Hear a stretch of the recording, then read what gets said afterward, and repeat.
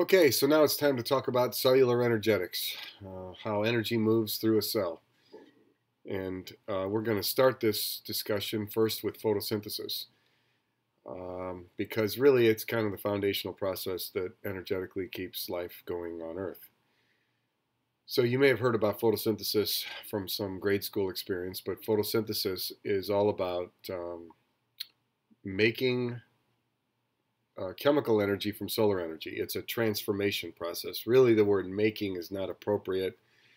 It's it's more appropriately stated. Photosynthesis is a transformation of solar energy to chemical energy. So the organisms that can do this kind of thing are called autotrophs. They make their own food. Heterotrophs, which is what humans are, and uh, giraffes and fungi and bugs, cannot make their own food and so um, have to eat other life forms to survive. So um, one of the foundational concepts in this chapter before we dive into photosynthesis is understanding the universal energy molecule known as uh, ATP. ATP is an energy molecule used by cells. Um, ATP stands for adenosine triphosphate. Um, ATP is really not to store long-term energy. It, it, does store energy, but only for, for brief moments. Uh, basically, what cells do is they bond uh, a phosphate molecule onto a molecule called ADP, which is adenosine diphosphate. And when you add a phosphate to ADP, ADP has two phosphates. When you add a phosphate to a molecule with two phosphates, it then has three phosphates. ATP is that molecule. Adenosine triphosphate has three phosphates. Why would a cell do this? Why would a cell put a phosphate onto an ADP to make an ATP because ATP is the energy molecule that really all of the enzymes and organelles in a cell use for fuel.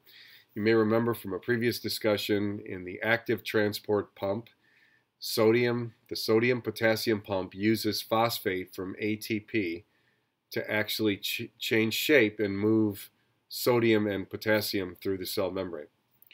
Um, all your organelles in your cells actually run on ATP energy. Removing that last phosphate is a is an energetically good thing to do.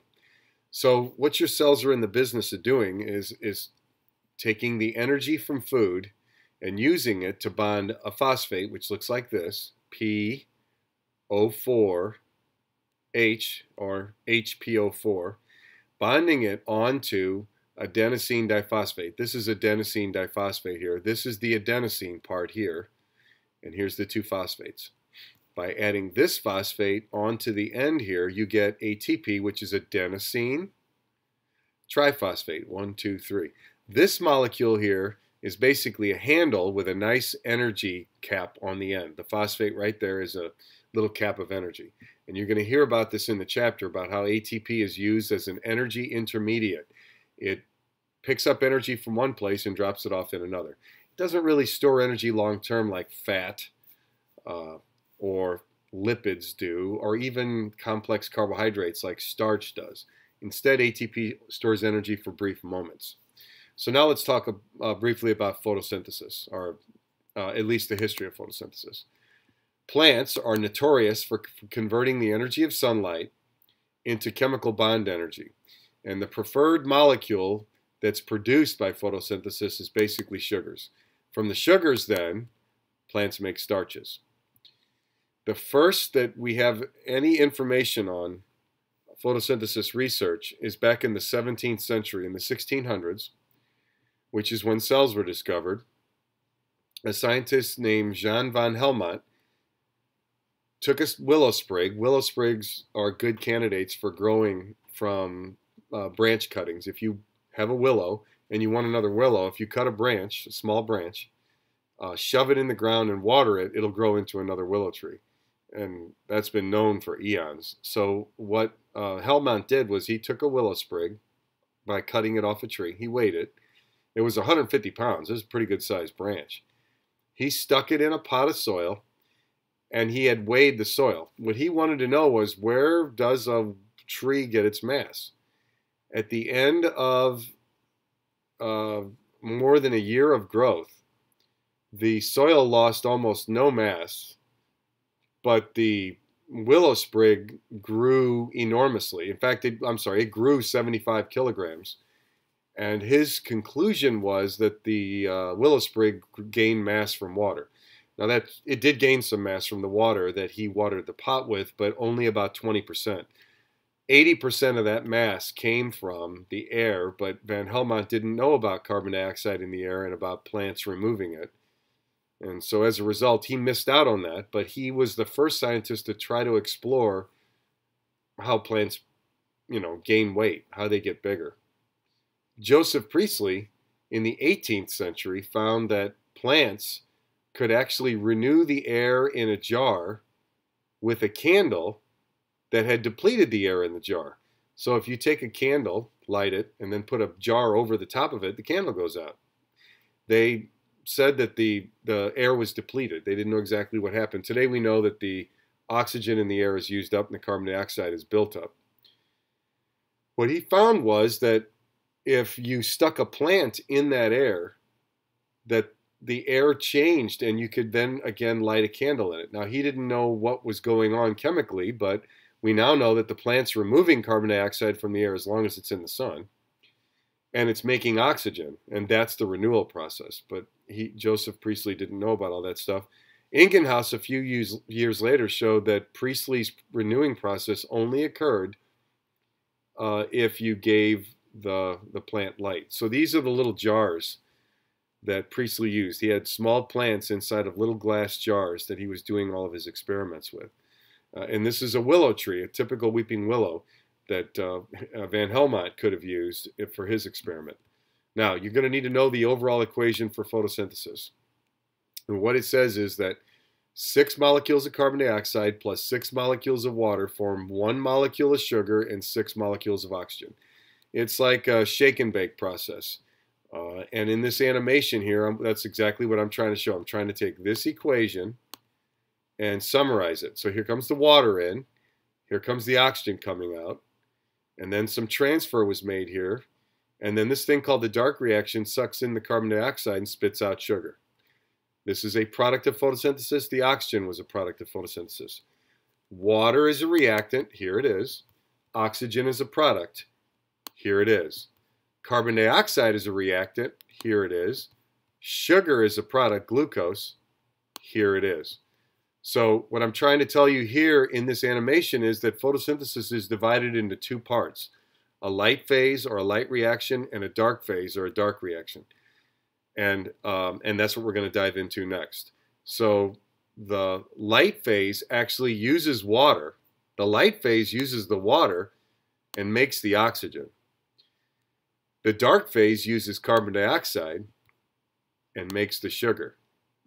Why does there have to be a light and a dark phase? Well, it turns out the light phase actually is what catches the light and transfers the energy of the light in the form of hydrogen atoms and ATP over to the dark reaction so the dark reaction can actually produce uh, sugar.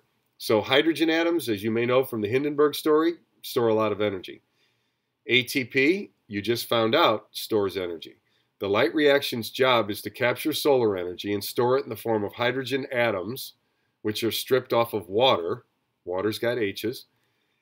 And ATP energy. There it is. ATP and hydrogen atoms are sent over. Oxygen is a waste product of the light reaction. The dark reaction takes carbon dioxide, the hydrogen atoms, and the ATP, and it cranks out the sugar here.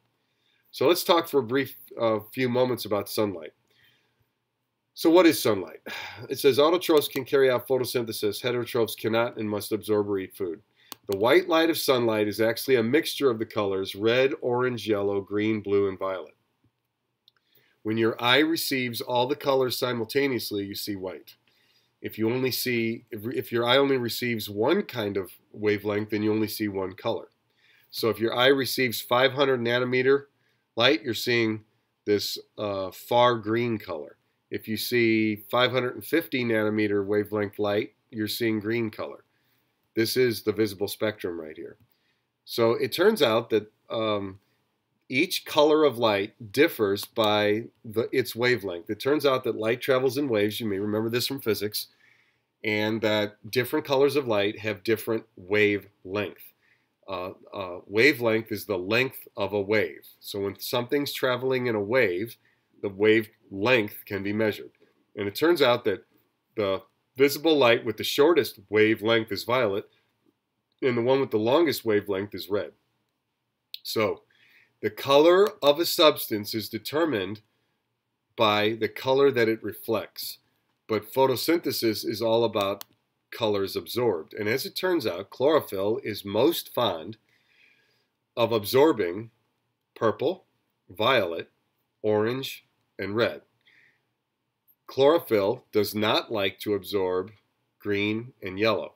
So the reason plants look green and yellow is because the chlorophyll inside is absorbing all the other colors except for violet, I'm sorry, except for uh, green and yellow. It's reflecting green and yellow, and that's what comes back to our eyes, and that's how plant leaves appear green. Now, what in a plant is actually doing this absorbing and reflecting? Well, those are pigments. Pigments are chemicals that have uh, a color behavior. They do something with colors. They either re they reflect some colors and absorb others.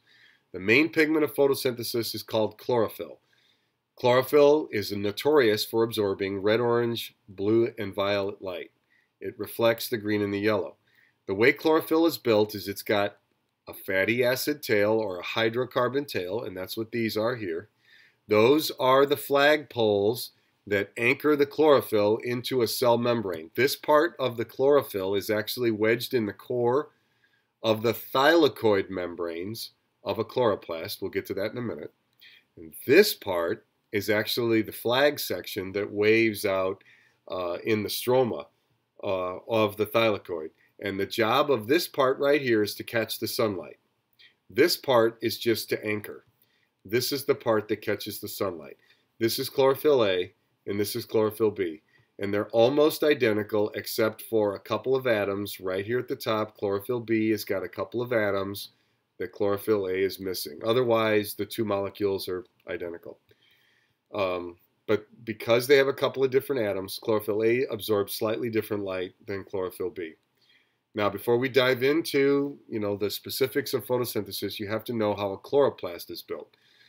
Photosynthesis only takes place in the chloroplasts of uh, plant cells. It also takes place inside of photosynthetic bacteria, but they are basically like a chloroplast.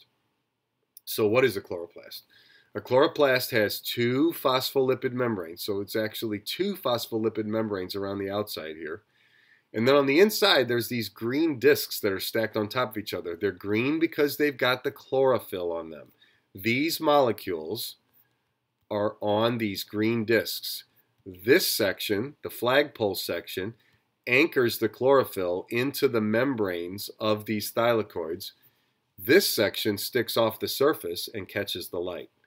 So the green part is all studded with chlorophyll. The yellowish part that's floating around the green part, that's called the stroma. Now that's where the dark reaction takes place. The green part is where the light reaction takes place. So in the previous little animation, the light reaction was taking place on these green discs called thylakoids. A stack of green discs is called a grana. Hate to put too many words in here, but this is a grana. Each disc is a thylakoid. And the yellowish stuff is where the sugar actually gets made. That's the stroma. It turns out that the grana supplies the energy for the stroma to make the sugar. The grana is where the light reaction is taking place, where water is being broken down to produce hydrogen atoms and some ATP energy. And in the stroma, carbon dioxide is being consumed, and along with the energy of the hydrogen atoms and the uh, ATP, sugar is made. So this is a quick little schematic summary. The light reactions take in light, they take in water. They kick out oxygen as a waste product. They, in addition, they kick out ATP and hydrogen atoms. This NADPH, that's referring to the hydrogen atoms. NADP is just like a pickup truck that carries hydrogen.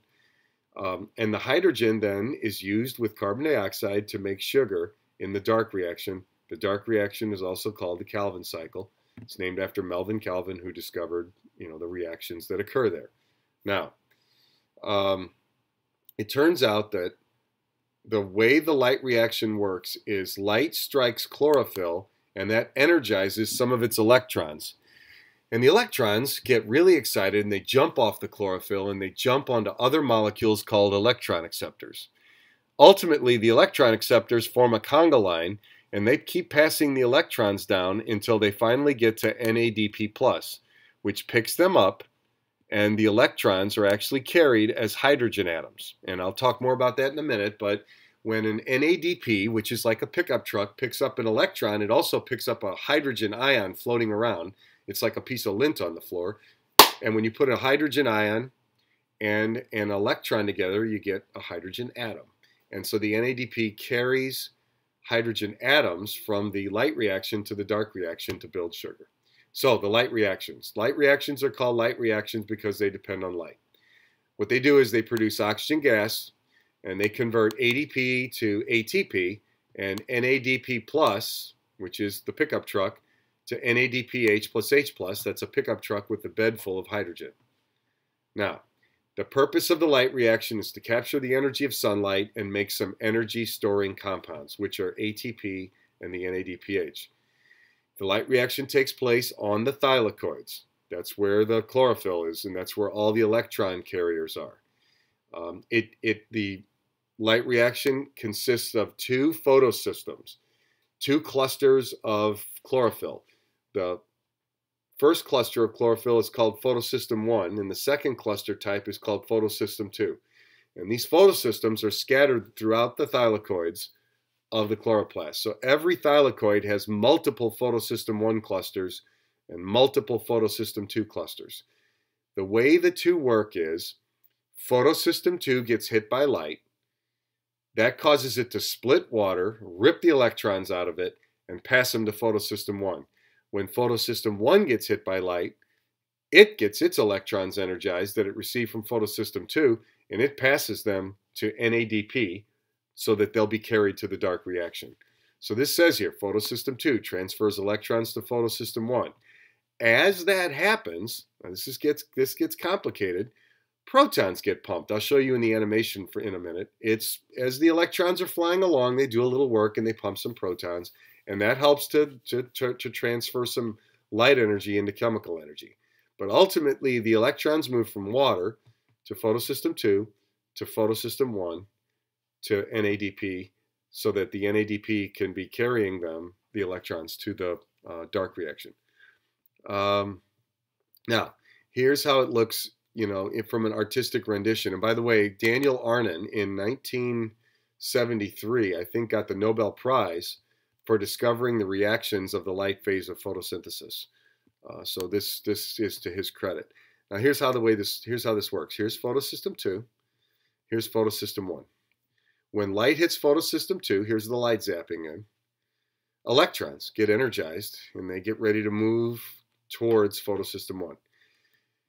For that to happen, water has to be broken down by photosystem 2, and that's what supplies the electrons so that the electrons can move. Now, as the electrons move from photosystem 2 to photosystem 1, they actually pick up, they grab some protons, and as they're moving along towards photosystem 1, they throw them from the stroma into the interior of the thylakoid. So protons are moving to the inside of the thylakoid as a result of this electron movement. On photosystem 1, when light hits it, the electrons that it received from photosystem 2 are energized again, and they're moved to NADP. NADP here is picking up the electrons, and it's becoming NADPH because it picks the electrons up with a proton floating around. Now, you may wonder why are there protons floating around and why are they getting moved? Well, if you recall, back when I talked about acids and bases, wherever you have water, you're going to have protons and you're going to have hydroxide ions. That is the nature of acids and bases. What photosynthesis is doing here is it's taking advantage of something that's already floating around and it's moving something that's already floating around from one side of a membrane to another. Why? There's a special enzyme called ATP synthase that can use protons to spin and crank out ATP from ADP and phosphate. Now, this enzyme is not fully understood, but what it can do is it receives phosphate and ADP, and when it gets hydrogen ions from the inside of a thylakoid, it spins and it somehow bonds, using that spinning energy, it bonds the phosphate on the ADP to form ATP. So That's the light reaction of photosynthesis. Here it is animated. Here we are. The lights go on. Electrons go from water through photosystem 2 to photosystem 1. From there, they go to NADP. Okay, let's look at it again. Here come the, the electrons. As the electrons move between the two photosystems, they pump protons. Look at it. Here come the protons. The protons are used to make ATP. It's the same thing we talked about before, looking at it in a different way. Light striking the photosystems moves electrons, and as the electrons move, protons get pumped. In the end, the electrons end up being dumped on NADP so that they can be carried to the dark reaction. And the protons that get pumped by the moving electrons, they're used to make ATP, which in turn are also used by the dark reaction to make sugar. Complicated, but absolutely amazing because here what we have is uh, sort of a solar cell. It's like a solar um, panel on a calculator, the, allowing the calculator to run on sunlight. Now, the dark reaction. Dark reactions don't need to happen in the dark. They just don't need light directly. But what they absolutely have to have is the ATP and, they, and the NADPH. Without that, they can't work. Where do they get these? From the light reaction, which incidentally only works in the light. So the dark reaction usually only runs while sunlight is streaming down, but the dark reaction doesn't actually directly use sunlight. It uses the products of the light reaction, which uses sunlight. Now, what the dark reaction does is it combines carbon dioxide with a five carbon sugar. Now, carbon dioxide is a one carbon molecule. When you add a one carbon molecule to a five carbon molecule, you make a six carbon molecule. In this case, though, the six carbon molecule cracks into two three carbon sugars. The enzyme that does this is famous. It's called Rubisco. Rubisco's job on this planet is to catch CO2, stick it onto RUBP, which is a five carbon sugar, to produce PGA, which are little three carbon sugars. The PGA, then, in the most important biochemical step on Earth, is converted to PGAL. Why? PGAL is a very convertible molecule. It can be used to build almost anything from amino acids to uh, nucleic acids. So, but PGA is not so versatile. So, what this reaction is all about, the most important reaction on Earth, is the products of the light reaction, which are NADPH plus H plus and ATP, are used to convert PGA, which is this, to PGAL, which is this. Look at the difference between the two. PGA has, this is a carbon, this is an oxygen and an oxygen and an H.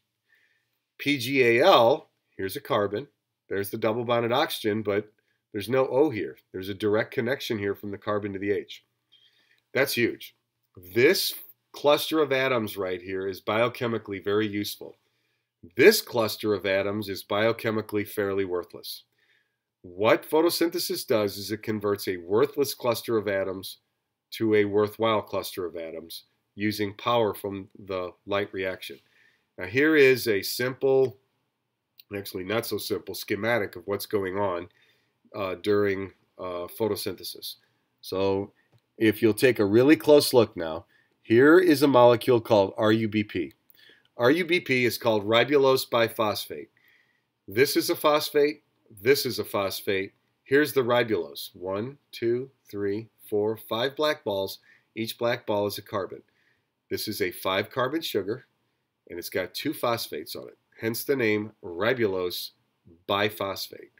When it reacts with CO2 by the action of this enzyme, Rubisco, you know, Rubisco's got an active site, and the active site can fit RUBP and CO2.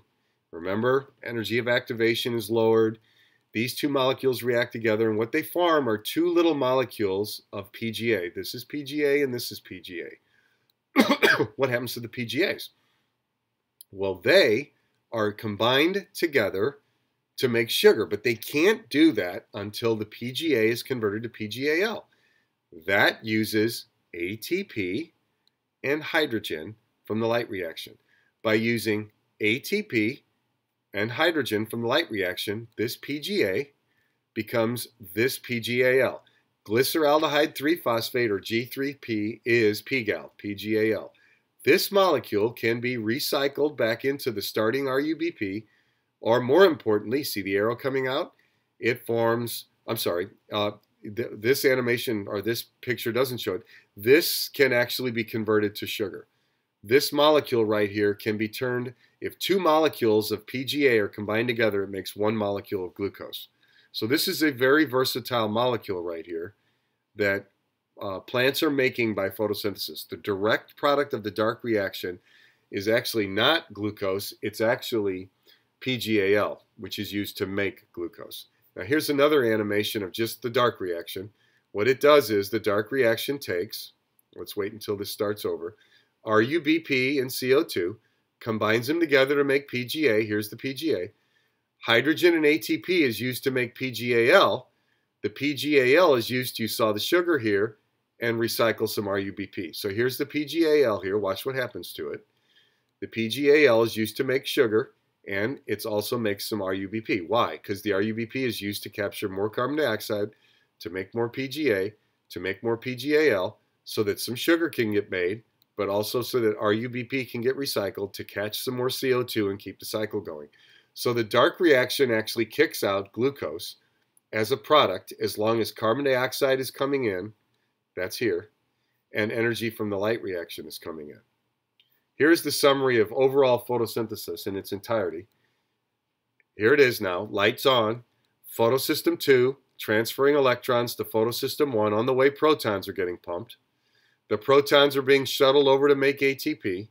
Meanwhile, the electrons are being picked up by these NADP carriers, and you'll notice right here at this step, PGA is being converted to PGAL. Okay, here's the PGAL. It's used to make sugar, and recycle some RUBP. Over here in the dark reaction, the CO2 and the RUBP make PGA, but the PGA cannot be converted to PGAL until hydrogen and ATP become available from the light reaction. So this is the overall process of, of photosynthesis. On the left is the light reaction. Using water, that's that was right here, it produces oxygen waste product but it cranks out ATP that you see here and hydrogen atoms that you see here so that the dark reaction can make sugar. So here's the water, here's the oxygen waste, here's the ATP and the hydrogen that it's cranking out. The dark reaction takes in CO2, which was here, uses RUBP to make the PGAs. They're converted to PGAL using energy from the light reaction. The PGAL then is used to produce glucose, and recycle more RUBP to catch more CO2. And the cycle goes on. So when sunlight is hitting a plant, there is just a lot of stuff happening in those leaves. In every plant leaf on earth, this process is going on. And this is the process that puts food on your plate so that you do not starve. Um, this is critically important to the planet. Without photosynthesis, we are all dead in the water. All food that you have consumed in your life is coming from this process. Generally speaking, on wheat, corn, rice, and a few other uh, vegetable and fruit plants that are in the, the human uh, food chain. So, photosynthesis is an incredibly important process on Earth. It's cranking out sugar, which is a necessary commodity for all life. What we're going to talk about next in respiration is how the sugar gets used by a mitochondria to crank out ATP so that your organelles can actually do their work.